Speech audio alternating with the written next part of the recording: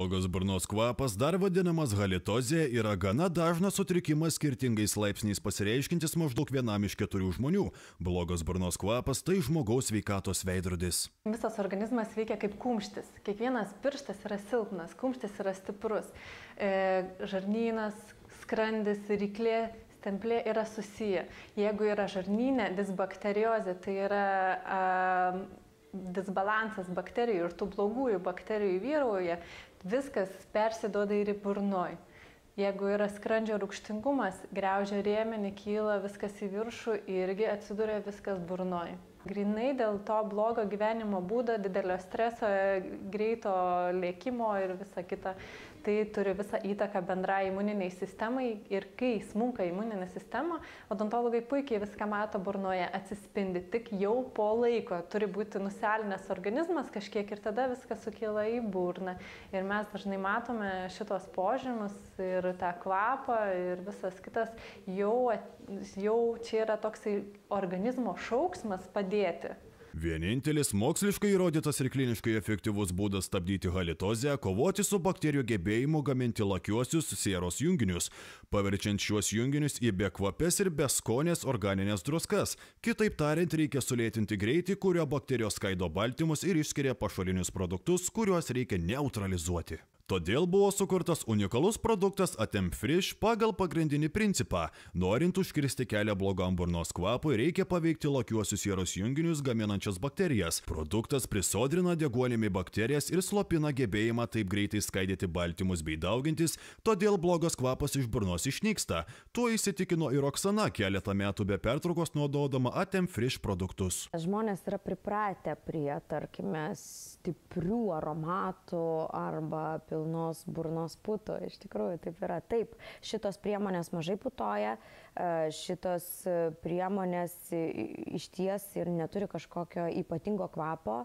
Tačiau nepaisant to, jeigu visgi susigundė ir suvalgiai tą česnakėlį, pajusi didelį skirtumą su tą mėtą putojančia arba visiškai be mėtos ir be putų, kuris labiau pašalins jums kvapą ar uh, galų gale susidariusias apnašas ant dantukų, tai nepatikėsit, bet būtent tą pastą, kuri be kvapo ir, ir neturi tų putų.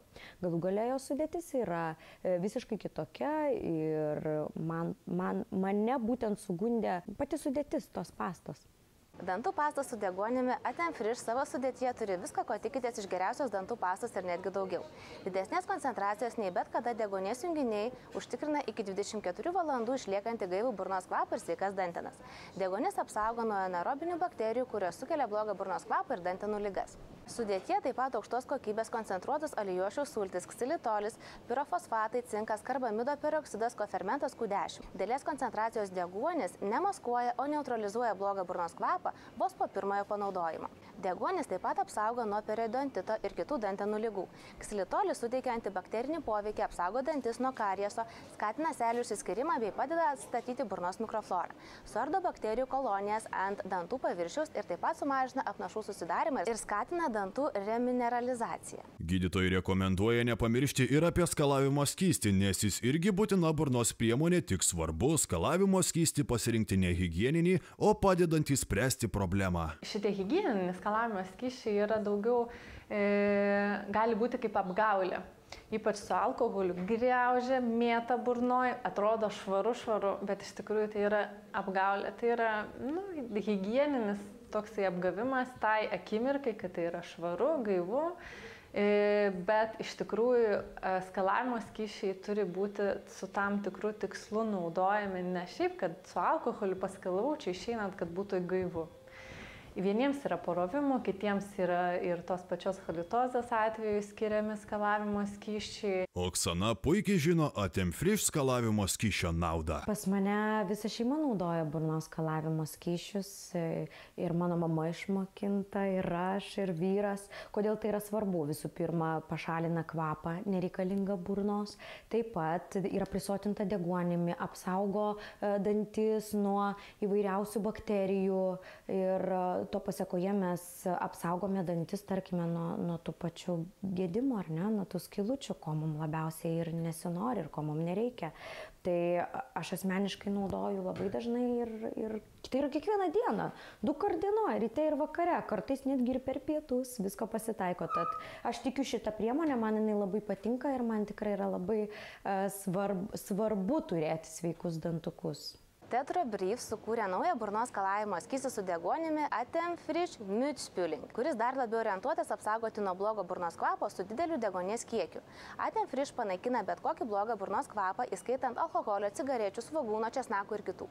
Tiesą pasakius, po skalavimo 15 minučių taip, tu negali gerti jokio vandens, tu, tu turi tiesiog palikti tam, kad jisai suveiktų. Bet tai yra logiška ir tai tikrai nėra sudėtinga tos 15 minučių neišgerti kavos ar neišgerti galų galę to vandenuko. Tai vakare prieš einant miegoti tai yra labai paprasta, greitai ir aišku.